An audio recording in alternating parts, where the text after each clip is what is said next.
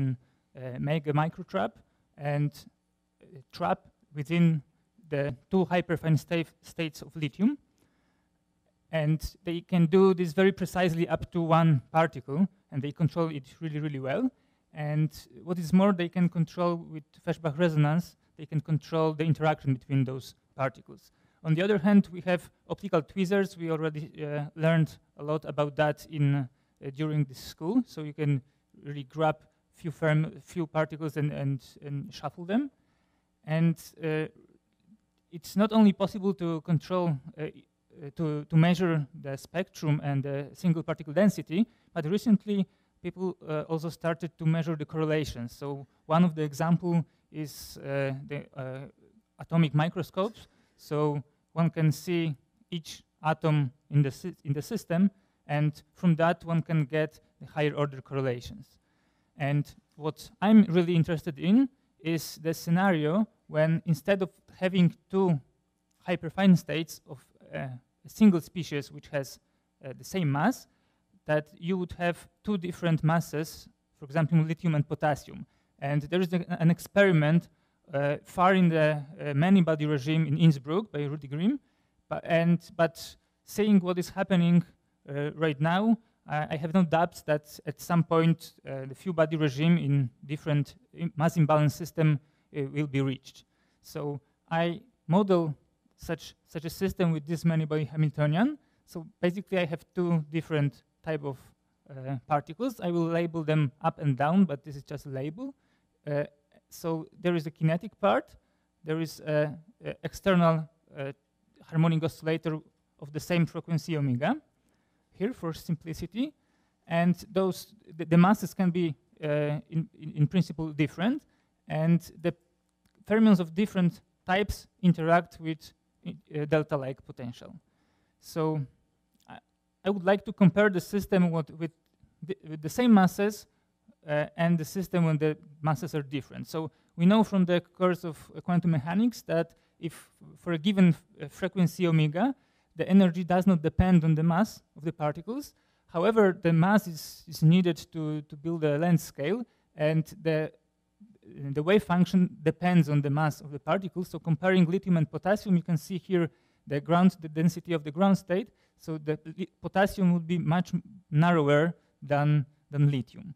And uh, even though the, the, those are the few, uh, just few uh, particles, however, this is fully quantum, so the, the, the dimensionality of the Hilbert space is grows exponentially. So even for four particles of each type, and taking account only 10 single particle levels, the, the Hamiltonian is pretty big, and it grows even more if, if you would like to, to calculate more. So, but playing some numerical tricks, one can solve that. And the first thing you would like to uh, compare is the spectrum. So this is a typical spectrum for equal masses for one up and uh, three uh, down particles. And this spectrum uh, has two features that are very typical. One of them is that in, uh, in strong repulsion limit, there, uh, the there is a quasi-degeneracy in, in the eigen of the eigen energies.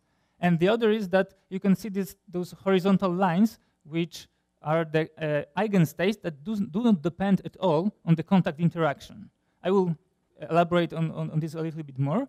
And when we uh, introduce the mass imbalance in the system, you can see that, first of all, the, the, the degeneracy is, is, partially split, and uh, the, the, other feature, this, this so-called Girardeau states, are not longer there in the system. So, so the, the spectrum is already changed uh, with this mass imbalance, and this is the single particle density of this so-called Girardeau state, which is a totally antisymmetric wave function of all four particles. So uh, you can see that it looks like as if would look uh, for, for non-interacting fermions in both densities. However, th this red curve is for, there are just three particles, and here there's only just one.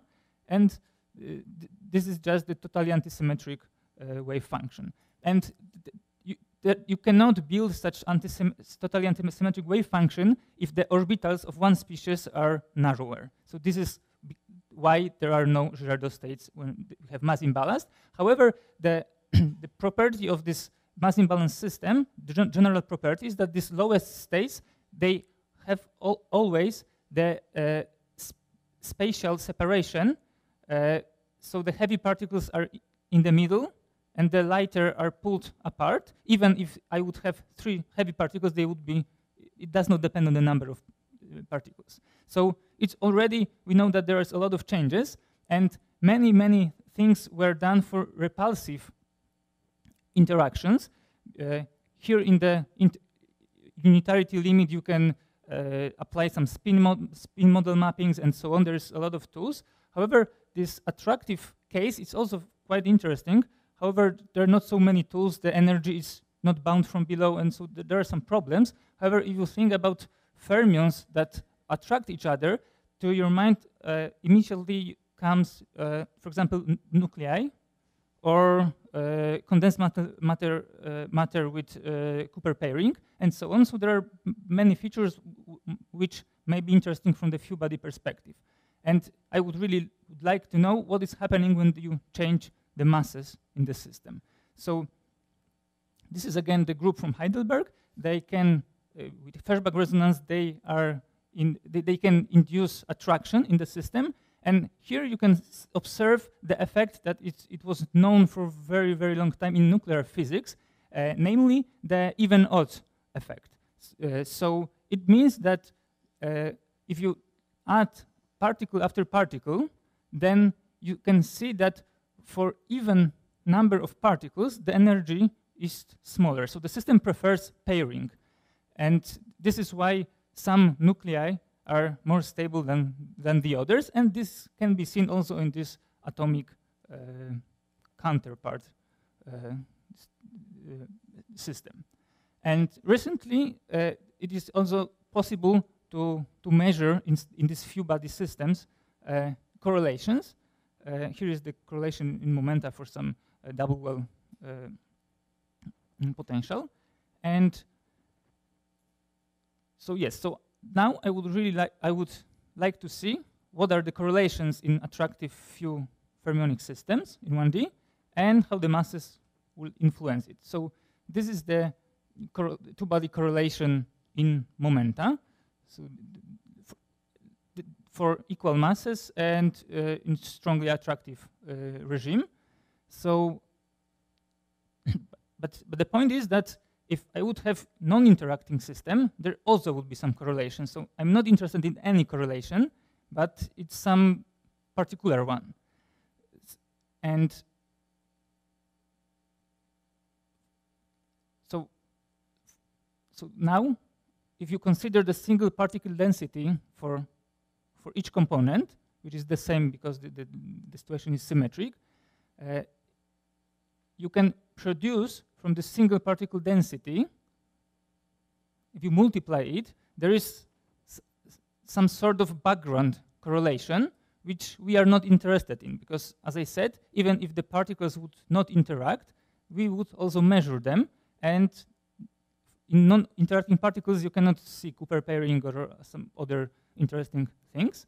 So now, from, from the from these two-body correlations defined as on the previous slide, I would subtract this, uh, this correlation that comes from single particle observables, and in result, I will get this nice picture in which the momentum of one particle uh, is anti-correlated with the other. So this means that if I have in, uh, attracting uh, system and the particles and the particles are in such system correlated in in space, they are at the same time anti-correlated in in momenta. So this is for for equal mass, and if I increase mass, the, the two things are happening. At first of all, if I introduce attraction, the wave function in positions will, uh, will be more narrowed. That means, let's say me that again. If I have different masses, I have heavier particles, they are more localized in the space, so the momenta are broader. So this is this effect that here we see the broadening. But on the other hand, the, uh, the amplitude of this of this so-called noise correlation is lower. And if I increase the mass even more, it, the correlations are almost killed, and it is so. So we know that something bad is happening when the mass uh, imbalance is introduced. So, but we would like to have a number to measure it. So a good number is if you square this function and uh, integrate over two momenta. Notice also that here, if I would have no interaction, it would be totally flat, no correlations. So, so this is this definition. And for equal masses, it starts from zero, so everything is all right. It, here is almost linear and, and grows with the, uh, with the attraction. For mass equal to, it's, it's much smaller. And then for 3, 4, 6, it's even smaller. So it, we already see that it, mass imbalance kills correlation. And uh,